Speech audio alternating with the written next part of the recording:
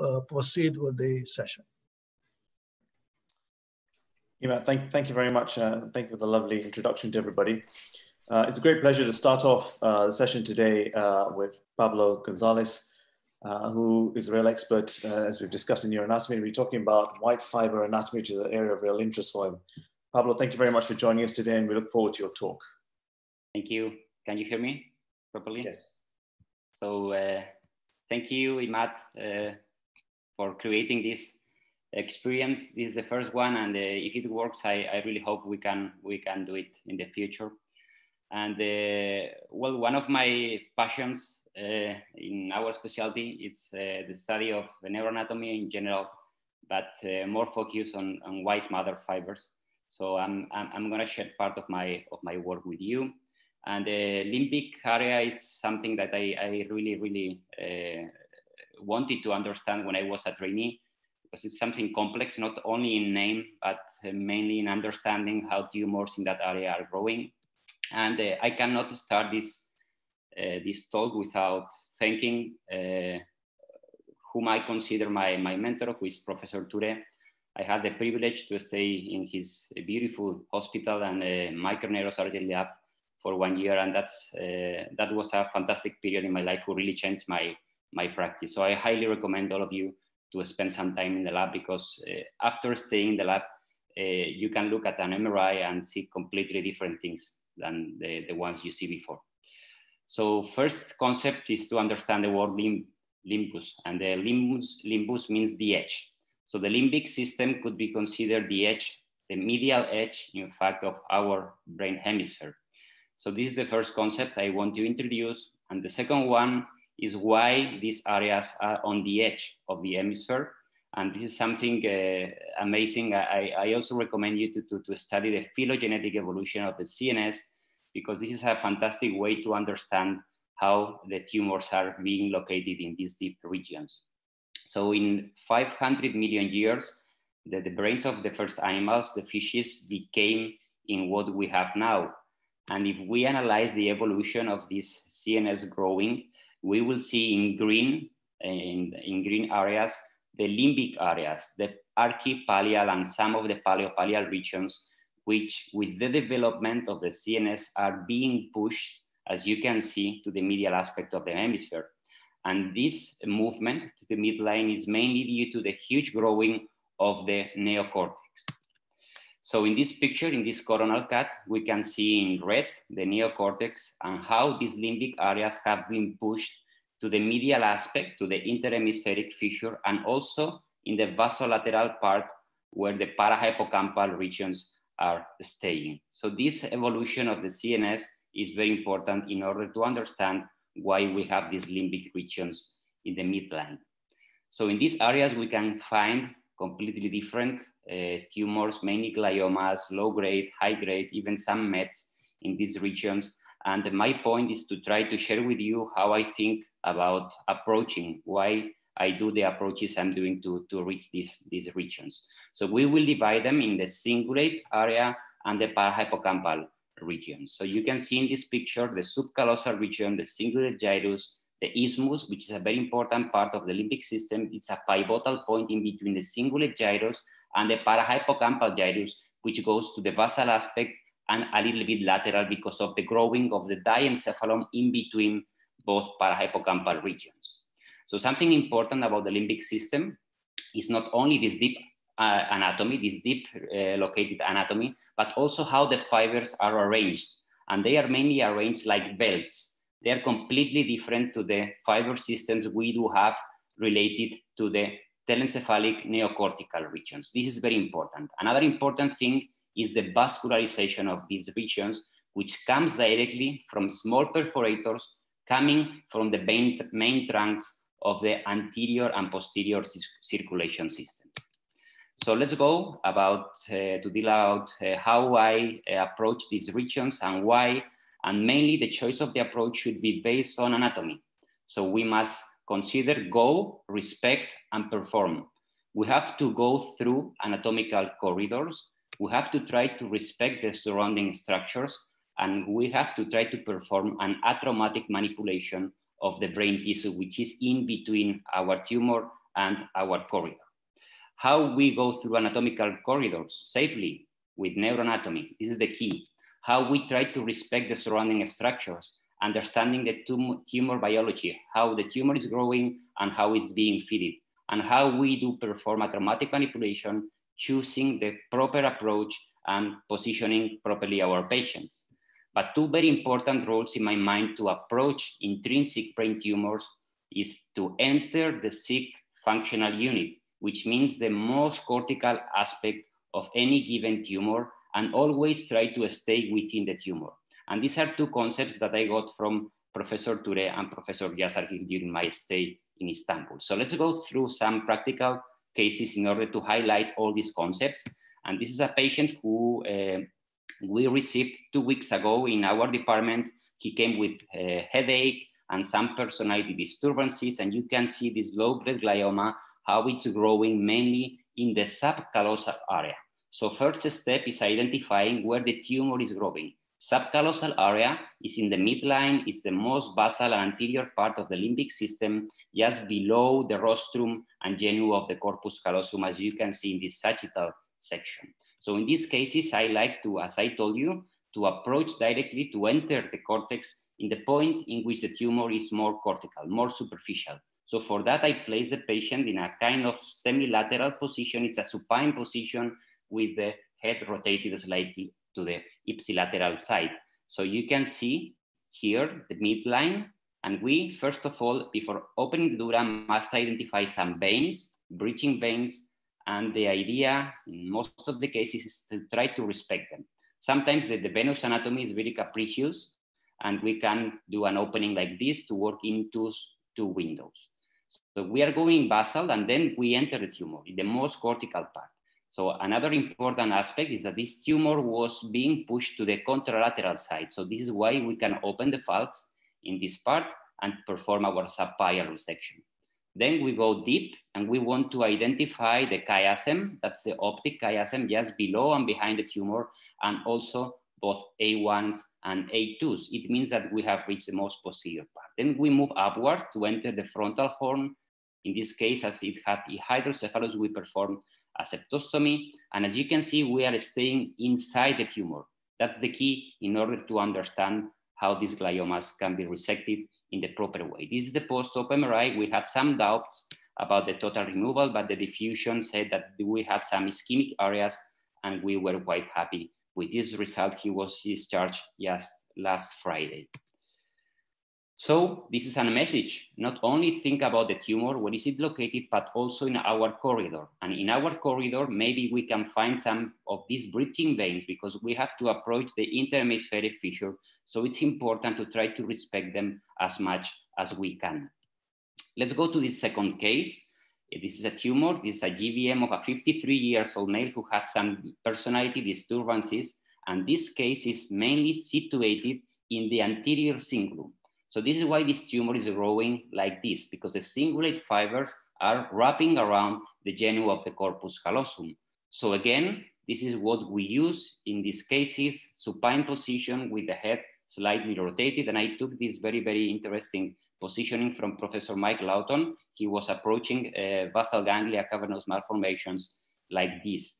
So with this approach, we will be able to release some CSF from the pericallosal cistern and to have the aid of the gravity to create our space in order to reach the contralateral aspect. So this is a co-interhemispheric contralateral transfalcine approach in order to reach this contralateral cingulate tumor. Again, we try to respect the venous anatomy when we are opening the dura. This is something mandatory, in my opinion, and to create as much space as you can. Releasing CSF will help us, and then we can open the falx protect the ipsilateral hemisphere with some cottonoids and with the falx itself. And then we go inside the tumor. So in the most cortical part again, with the aid of 5-ALA, we can do that. And you can see how we are identifying the cingulate sulcus. Let me show you one of the gaps of this contralateral approach, which is that we cannot access, we have not direct control of the superior part of the tumor, of the roof of the tumor cavity, but with the aid of the speculum or even an endoscope, we can reach that area. So you can see here how we have respected the cingulate sulcus and removed this anterior cingulum glioma. This is the aspect that the ipsilateral hemisphere has. After the removal, we can replace the falx if we have it. If not, we can place some spongostan and close the dura. And with this contralateral approach, we can reach the most lateral part of these cingulate gliomas. Let's move more posteriorly. And let me show you this case, who is still in my ward because he came last week with some progressive hemiparesis due to the COVID. He was scared to, to, to, to go to the hospital and he had some 25, 30 days progressive hemiparesis and he came to the hospital in a very, very, very bad situation. So we did surgery on Friday and let me show you that this tumor is mainly growing in the central aspect of the cingulate uh, uh, gyrus. So we can approach this tumor transcortical or transsulcal through the convexity because the tumor is quite close to that. But if we follow the rule of approaching and entering the tumor through the most cortical part, we will understand why. And let me show you the tractography. You can see in yellow the corticospinal tract. So if we go from lateral crossing this very thin layer of cortex, we will probably ending damaging this corticospinal fiber tract. So this is why I prefer to go interhemispheric, IPSI or contralateral, wherever you feel more comfortable with. I prefer contralateral in this case. So this is the scheme of the surgery we can perform for that. And we always perform this venography in order to check that the contralateral window is gonna give us a good access to the interhemispheric fissure. So we can place in the contralateral side, which means in the side where the tumor is, some electrodes to check the corticospinal tract continuously during surgery. You can put it epidurally, as I did in this case, and then we can access the interhemispheric fissure in order to remove the tumor. You can see in the post-op T2 coronal how this very thin layer of cortex now is much, much, much wider, and the corticospinal tract is right there, and we check it with electrophysiology. Let's move a little bit more posteriorly, and this is not a glioma, this is a metastasis, which is mainly located, as you can see in the sagittal cut, in the posterior part of the cingulate gyrus. And this is a very important area because here the cingulate gyrus is gonna join the isthmus and gonna go a little bit lateral. But here the most important thing is to consider how close this tumor is of the so-called paracentral lobule, which is part of the motor and sensory strip. So this is what we have to identify. And again, in this case, I decided to go contralateral to have a more wider control of the lateral aspect of that tumor. So again, take your time to release CSF, to disconnect the veins, respecting them, and to create space enough in order to expose the falx. So once we have a good window, we go in the interhemispheric fissure. Sometimes we check it with the ultrasound or with the Doppler, and then we open the falx. So here we are opening the falx. We can see the tumor already there with the paracentral lobule. So the ascending or distal ramus of the cingulate sulcus is right there, and the tumor is coming to the surface. This is the key, to approach the tumor from the most cortical part. So we are dissecting the arachnoid so as to preserve the paracentral lobule, which is just above, and that's the metastasis. So once we have space enough, we start debulking. And again, in this case, it was quite cystic we can use the speculum so to check that the superior part is quite clean. And this is what we are doing here. So let me show you 24 hours later how after the decompression and removing the tumor, the layer of cortex, which was 1.2 centimeters, now suddenly became 2.6. There is a lot of white matter fiber tracts in that area that we must try to respect. Let's move more posteriorly and basally. And this is a 45 years old lady who came with some headache and uh, we had this MRI and you can see here an intrinsic tumor mainly located in the so-called isthmus. This is a very important area because as I told you here, the cingulate gyrus, which is purely in the midline, becomes the parahippocampal gyrus, which is a little bit more basal and mainly lateral because of the diencephalon in between both gyri. So this is an isthmic region pivotal point in between the cingulate and parahippocampal. And this is the limit for the interhemispheric approach. Everything basal here, we cannot or we should try to avoid an interhemispheric approach. What can we do to approach the isthmus? We can go transcortical through the temporal lobe, through the occipital lobe. We can go subtemporal, suboccipital, or we can go even in some cases, we can try to go supracerebellar transtentorial. But in this case, we decided to, again, apply our rule to reach the isthmus from the interhemispheric fissure. Why? Look at this, this is the isthmus in the contralateral side. So if we put all the white matter fiber tracks that we will cross in case we go transtemporal, we will mainly damage all these optic radiations, which should be preserved because the patient was completely intact. So lateral position, ipsilateral approach, interhemispheric parieto-occipital. Once we reach the splenium, we release some CSF, we place a cottonoid, and then we go directly to the isthmus. We start debulking this intrinsic lesion, and we want to enter the atrium. This is gonna be our lateral limit. So you can see how we have entered the atrium. That's the lateral wall of the atrium. So those are the optic radiations, the fibers we want to avoid damaging. Once we remove the tumor, we have a nice view of the lateral ventricle temporal horn, and you can see how we are covering the uh, visual primary area. Let's move to this different case. This is again a metastasis, and it's located in the parahippocampal gyrus. If you see the T2, you can identify the collateral sulcus just lateral to this metastasis. So this is not medial. As I said before, this is paramedially located lesion. So in these cases, we prefer to approach them subtemporally, or you can go trans, transcortical. In this case, we went subtemporal so as to, again, follow our rule. So after opening the dura and drilling the middle fossa to have a basal exposure, we are gonna release some CSF and suddenly, just medial to the collateral sulcus, here we have this metastasis, which is coming to the surface. After debulking it, it was very easy to take it out, very comfortable. We did a nice removal. We were very happy, fast approach, safe approach, and we were happy with that result. We coagulated a little bit the dura, and then we can close it in a watertight fashion. I always place this spongostan layer.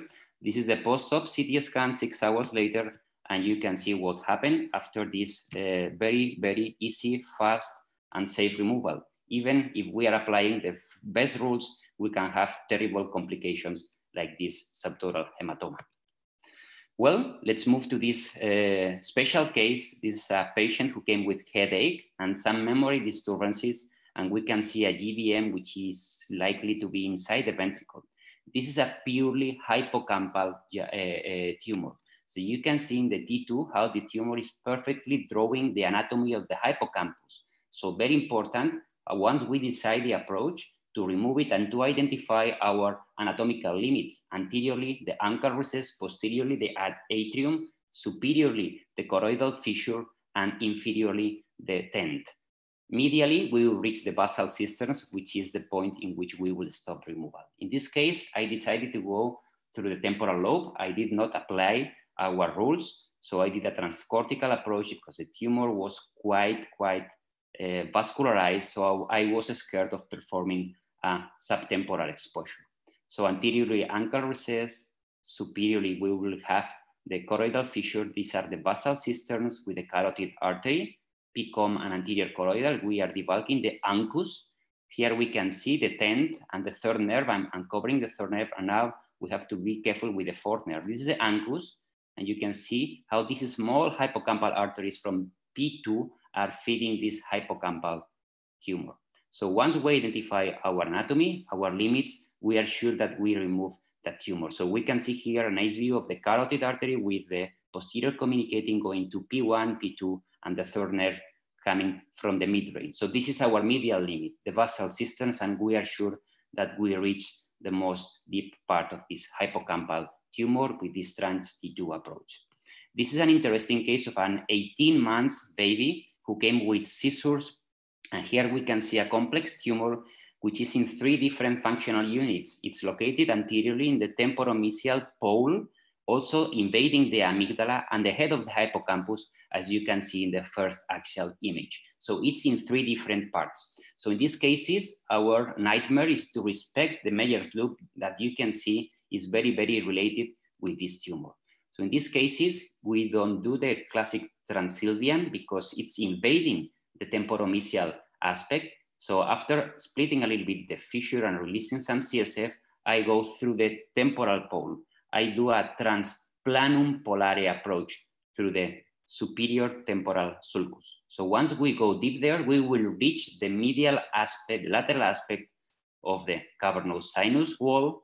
And that means that we reach, we remove the most anterior part of that tumor. Then we move posteriorly to the amygdala and finally to the head of the hippocampus. And the medial limit again is the pia. This is a subpial approach. So you can see the third nerve right there behind the arachnoid. And this is the head of the hippocampus, which is the last part of this surgery. So let me show you and summarize what we have been discussing, subcallosal region, anterior, central, and posterior cingulate, isthmic region, parahippocampal gyrus, and the uncus. But sometimes we can have tumors like this, which are invading different regions. This is a, a GBM, which was invading the uncus, the amygdala, parahippocampal gyrus, and you can see also the hippocampus, and even, as you can see in the sagittal cut, invading the isthmus.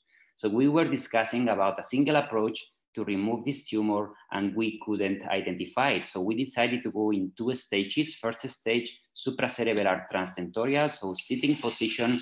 This is how we place these patients. Then we open the tent, we check with the endoscope if our exposure is good enough and orient ourselves. Is the ambience and crural cistern in front. And this is the parahippocampal gyrus, exactly where the tumor is growing. So we are applying our rule in this case. So we start debulking and we can also use the 30 degrees endoscope with the CUSA so as to reach the most basal part of this tumor. Then we are trying to go upwards to the isthmus. We couldn't get it. That's the crura of the fornix, that's the choroid plexus. This is the lateral ventricle, just to orient ourselves. That's the pulvinar thalamus. And then we are moving to the most anterior aspect of the temporal horn. So in the lateral wall, you can see the optic radiations. So we were not able to take the isthmus out. So two weeks later, we perform an occipital interhemispheric transtentorial approach. We open a little bit the tentorium here and we have the last part of this tumor located in the isthmus. So with the combination of these two approaches, we can remove the parahippocampal component and also the isthmic component. And what we are trying to preserve are the optic radiations, which are just below, behind that part, that cover of the ependymal layer. So this is the glomus of the choroid plexus. This is the crura of the fornix, which was the most superior part of that tumor. And this is the post-op in which we can see that we approached both areas with these two approaches combined. So just to summarize, these are the different approaches applied to the anatomy that we can we can uh, use to approach limbic and paralimbic lesions. So we have to go and we can go interhemispheric, uh, or contralateral, doesn't matter, whatever you feel more comfortable with. We can go supracerebellar transtentorial to the parahippocampal regions, and generally we go transsylvian or transtemporal to the parahippocampal and hippocampal regions. But always keep in mind that we have to go through anatomical corridors, respect the surrounding structures, and try to perform anatromatic manipulation. So takeaway messages, limbic system is located in the medial aspect of the hemisphere in the interhemispheric fissure with a very special white matter arrangement. Never forget the relation with the falx, the interhemispheric fissure anatomy, arterial system, very important and mandatory. Try to respect the venous anatomy in case you can. Lateral exposure, in my opinion, is better because I have a better bimanual maneuverability and we have the aid of the gravity to expose and open the interhemispheric fissure. And the contralateral transfalcine is a good uh, approach in order to have a better control of the lateral aspect of the tumor and we no need to deal with a sick hemisphere because we are opening the, contralateral hemisphere. So thank you so much. And let me finalize with this uh, uh, slide in which we can see that uh, we had a, a, a brain uh, like the fishes, and mainly they have paleopallium. So they are mainly programmed uh, with olfactory functions, mnesic functions, but mainly they react to fear and danger. Look at these two guys who were taking this fish. They catch it. They wanted a nice picture, but the fish has in his rhinencephalon the message to escape. So we did it. He did it, and the, the two guys couldn't control that one. And look at this guy. He has a huge telencephalon, huge neocortex. He wants to take some money from the bank, but then his movements are not coordinated, but he always has a good limbic system in order to escape. Thank you so much. Thank, thank you very much, Pablo. Thank you for an excellent talk. Um, one of the questions that come up while you were speaking is they asked about, the, you, you, talked very nicely about protecting the veins and draining CSF. Uh, and they asked um, about lumbar drainage. Uh, do you use that at all in any of your operations? Well, in, in these cases, I, I, to be honest with you, I have never used it. I have thought it many times, but uh, uh if you plan your surgery and your approach to have a wide access to any of the pericallosal cisterns, you can get CSF, release it. And if you cannot, in a few cases, what I have done is with the ultrasound, I just use the Cushing needle and took some CSF from the ventricles, which works very, very nice. Excellent. Thank you very much. I think in the interest of time, we'll move on to the next talk. So uh, it's a great pleasure to have Ramesh Nair with us, who will be talking to us about his experience with uh, transfemoral surgery. Ramesh, thank you for joining us today. Thanks, Sanjeeva, and thanks everyone. And uh, I'm going to share my screen now. So